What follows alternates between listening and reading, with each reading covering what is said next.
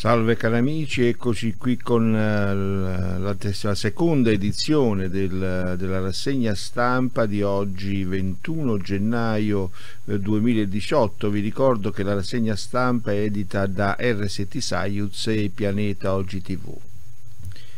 Mafia, il giornale di Sicilia contro Mediaset, film su francese eh, ci danneggia, dicono, nella sentenza i rapporti tra editore e boss.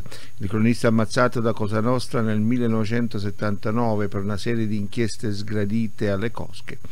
Oggi il suo giornale contesta la fiction per ricostruire i legami tra i padrini e il padre dell'attuale editore ennesima occasione utilizzata da alcuni sedicenti moralisti, esponenti di un'antimafia sempre più parolaia e di maniera per gettare discredito, dicono, ma nelle motivazioni della Corte d'Assise d'Appello i giudici parlano di rapporti provati che legavano proprietari ed editori a parecchi esponenti mafiosi.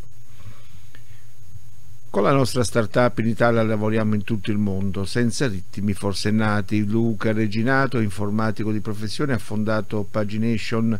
I punti di forza sono tecnologia, pochissimi straordinari e un team under 40. Uno degli, eh, degli ultimi cataloghi ci è stato commissionato da un'agenzia che si occupa di creare le guide per gli studenti di oltre 200 università americane.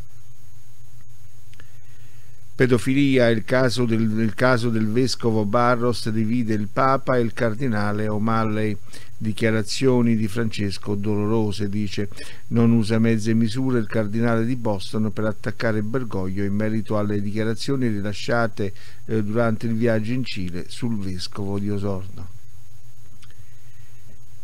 Mafia a Palermo c'è un nuovo pentito, cinque persone fermate, c'è anche il figlio dell'autista di Irina. L'ultima operazione della Direzione Distrettuale Antimafia di Palermo è stata ordinata a tappe forzate per evitare che i sospetti fuggissero ed ha beneficiato delle dichiarazioni di un nuovo collaboratore di giustizia. In, carcere è finito anche Giuseppe Biondino, figlio di Salvatore Biondino, autista e uomo di fiducia del capo dei capi di Cosa Nostra. Da Bologna alla Tate Modern, l'italiano Lissoni dice parchi agroalimentari e sgomberi, inaccettabile che si ricostruisca l'identità della città privatizzando. Con la chiusura della maggior parte degli spazi autogestiti e l'apertura di Fico, nel capoluogo dell'Emilia sembra imporsi un nuovo modello culturale.